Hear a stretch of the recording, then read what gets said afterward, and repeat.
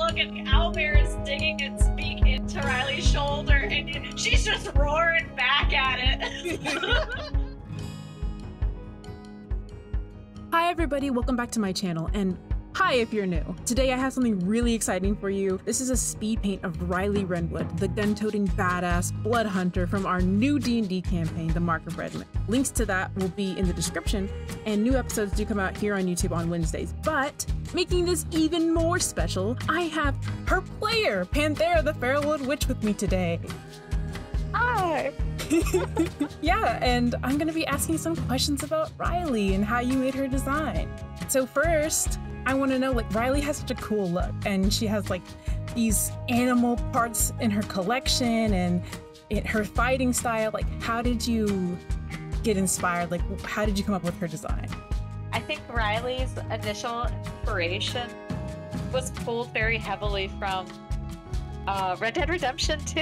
Oh I don't know if yeah. you played it at all. Oh, I love that game. But um, I, I just love it's so much fun. Uh, I love the story. I love like uh, the the Western vibes. Mhm. I love the idea of kind of like living out on the land and you know doing what you got to do to survive and the hunting system in that game is very fun as well. You can like harvest everything and you use that to to piece together like trophies essentially in that game, right? That's one of the things that you can collect is like special armors done by trophy hunts and so on. So I was like, okay, this is this character is someone who's been living on her own for a long time, right? She's a blood hunter. She's kind of got those monster hunter vibes. Mhm. So, what else would she be doing? How would she be spending her time while she's alone out in the wild? And probably, you know, messing around with with the stuff that she has collected right over the years. She probably had sat there for many nights and just uh, sewing little claws and, and teeth and bones or feathers or whatever she might have come across in her travels into her attire because she doesn't really have a home she doesn't Yeah. really have like a, a place where she she stores these things so she kind of wears it Wow, yeah. I love that. Like Riley feels so grounded and real and I love that she's carrying her home with her and her you know, her travels, her journey is like Mhm. worn in her hair and on her clothes. I love that. So, what is the weirdest thing that she has in her collection? What's the strangest thing? oh that's such a good question i don't know if uh i'll have to think about this um she probably has uh some like skeleton teeth and things like that so like human oh. parts um she definitely has a lot of probably like antlers Mhm. um, and standard like hunting rabbit pelt. Um, probably you know some wolf teeth, Yeah. maybe. You know she is uh pretty low level wise, so I don't want to go like too ham be like, oh yeah, she's this big badass monster hunter. She has manticore tail. Yeah, exactly right. Like um, she she probably has mostly fought like um bandits as well as just like Mhm. creatures. Maybe like a bear might have been one of her her biggest things that she's done on her own. So maybe some like bear claws and things. Um. Yeah, I don't know. I have to think about that because I, while she has a good backstory, I haven't really like thought about what missions was she on before yeah. getting with the party. So I'll, I'll have to think about her, that her, one. her great epic fight with a vampire or something. Yeah. Ooh, Uh, like maybe like she's got a werewolf tooth. I don't yeah. You- If, if you do think about it, maybe that'll be a reveal for the know. Yeah. campaign. I'll have to think about it. But That's um, exciting. We talked a bit about how you were inspired by Red Dead Redemption and how you chose Blood Hunter because of those Monster Hunter vibes. So I want to know how are you building Riley? Blood hunters in general are a little tricky because they're very constitution based. They can go either strength or dex. Mhm. You also need high intelligence to do their blood magic. Essentially, that's like what the DCs are are using. So I like to play like swift characters. I'm Hmm. definitely somebody who I, I like to be sneaky when I want to be. I like to be able to do stuff.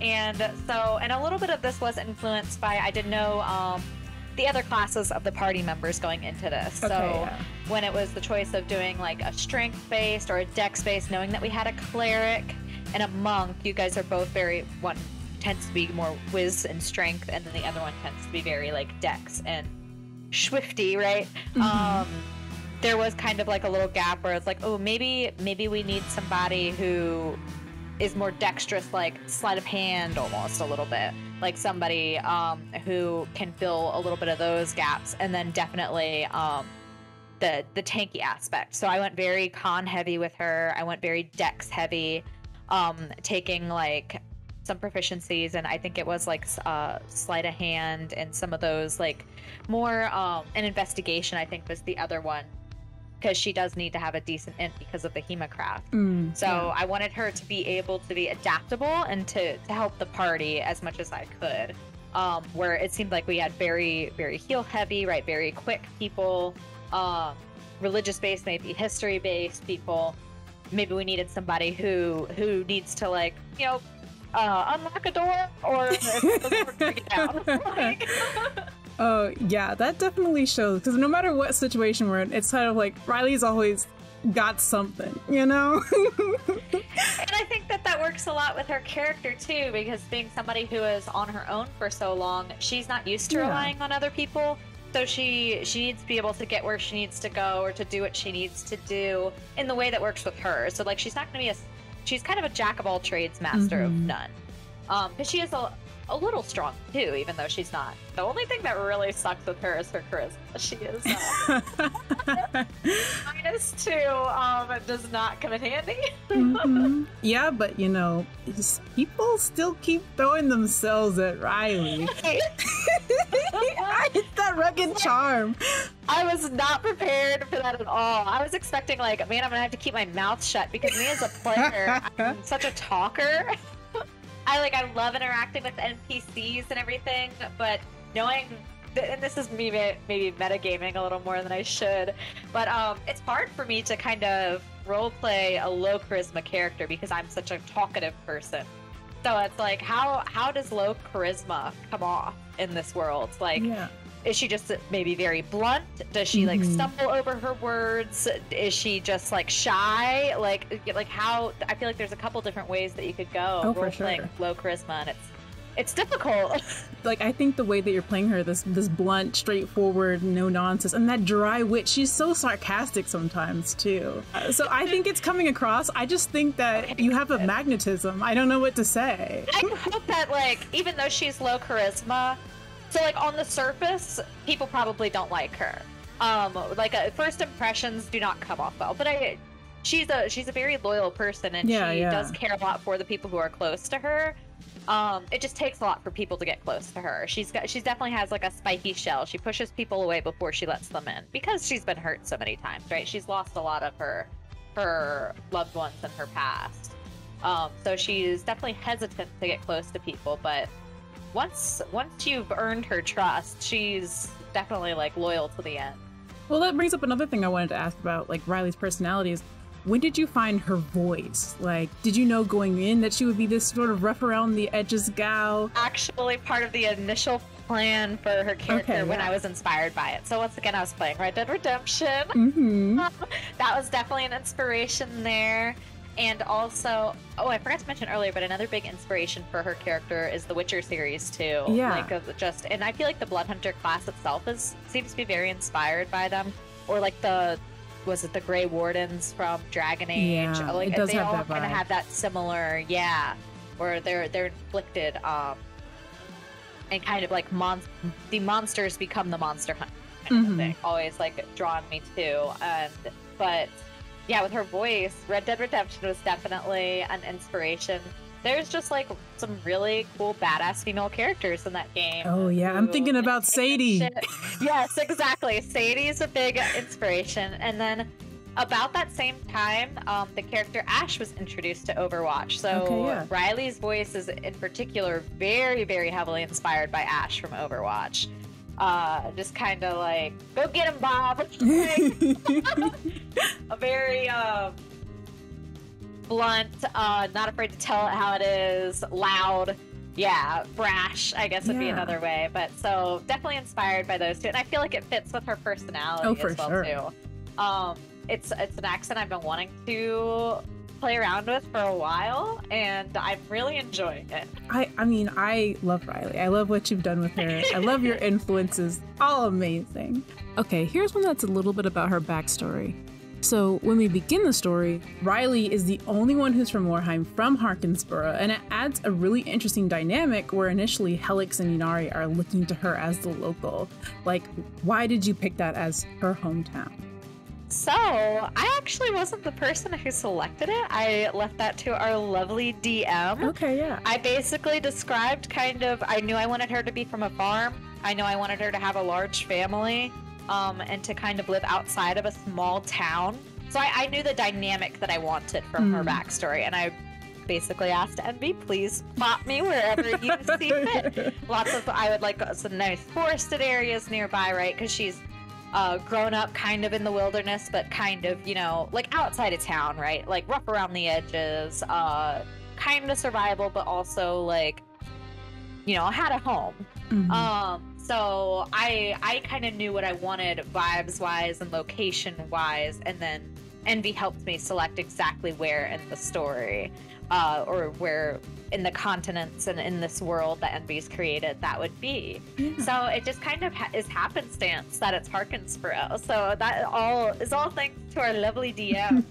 but I will say it's been very interesting and fun. It's definitely forced me to be prepared for more story points in Riley's, like backstory specifically, uh, than I was initially prepared to tackle so early.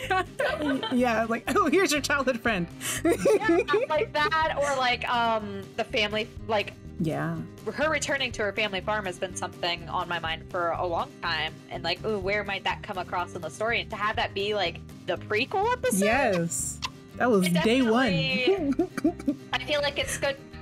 It's almost like a little bit of closure, but at the same time, it sparked like new curiosity. Yeah, like? Um, because things are not how she was expecting them to be at all. And on one hand, it's nice to know that everything has kind of moved on, Mhm. but at the same time, I do think that Riley is kind of bummed about it, right? Not to not have everything be almost exactly how how she left it. But it Mhm. has been a long time, right? It's been I think like uh story wise, it's ten years since she left her farm, and so there's like a, a bit of bittersweetness to it, I guess. She's been wandering, kind of like doing her her monster hunter kind of Yeah. for a while now. Um, she's definitely lived on her own out in the woods for for a good chunk of time. Um, it, the exact timeline, I think even Riley isn't exactly sure. Oh yeah, that that she's been that disconnected. But yeah, because it being disconnected from just society for a while, like I, if I have like a weird week, I forget what day it is. Like I can't imagine. Oh, yeah, oh yeah, for sure. World where you don't have like a phone to check the date, right? And knowing what year it is or what month it is, right? Like that's something that modern we Yeah. don't really have that issue. So who knows what her concept of time was necessarily during that time. It's interesting to think about. That's beautiful. Well, here's my final question for you. What has been your favorite thing about playing Riley so far? I think her interactions with the other characters. Oh, really? it's so much fun, and I feel like there's such a cool dynamic. Like Helix is very like aloof but caring at the same time, and kind of helps Riley, I think, refocus when needed. And like Helix is very um, strong morally. Both both Helix and Inari both have very strong like moral compasses. Uh, whether it's through Helix's like doctor code or through Inari's like deity worship. hmm Um, Riley is definitely like finding this a little different, right? Like she's she's used to having to deal with only what she wants, hmm not what other people want, and then also what other people's deities want, or what other people what other people signed up for, or what what contract they signed, right? So like for Riley to be like, okay, this needs to be done, and then Helix to be like, oh, but that's against my code. Like that that definitely throws an interesting dynamic to her. So I I love that. I love I think that being around with Helix and Inari too, Riley is learning to to relax more. That it's okay to like have fun every now and then. Like everything doesn't always have to be so serious all the time. Because I do think she spent most of her time just going from one thing onto the next, pretty much. One one mission onto the next, or one hunt to the next, whatever it was, and hasn't really like stopped to get to know anyone Mm. or to to see what, what other people are interested in right like she knows her mission but she doesn't necessarily know what what do other people do what do normal people do like, so i just i love all their different interactions and i think that it's really hit her how it's immediately accepting both inari and helix are of her Oh yeah. because she's definitely rough, right? She's rough around the edges. She's like how Barnaby treats her is how she expected everyone to be treating her. But to Helix and Inari to be so immediately welcoming and like almost like grateful for Riley's presence too. She's like immediately more bonded to them. Mhm. yeah, I, for sure Helix is grateful for Riley. For sure. her that's so like i don't think that she's used to people relying on her at all. And so for other people to be telling her that like oh thank you for that. Oh we we need you to do this or can you help us with this? She's like or like i feel like it's like uh she feels like now she has to take care of you guys these are mine and nothing can hurt them I can't leave this group because an owl bear will kill them. there's definitely like immediate responsibility, I guess, on her end. Yeah. So, which has been interesting and Yeah, fun to play around with. Well, I mean, I'm excited to have more interactions with Riley. Yeah, I cannot wait for more to be unleashed, and, and we'll see. We'll see. Well, thank you so much for talking about Riley and sitting with me here today. And thank you everybody for watching. Uh, I really hope that you enjoyed this speed paint. I hope you enjoyed this interview with Panthera because it was awesome. And if you want to catch uh, both of us playing D&D, watch the Mark of Red Moon on Envii Wylde's channel here on YouTube or on Twitch. And if you want to watch more of my speed paints, click on one of these little boxes over here. Or check them out on my channel. Okay guys, bye!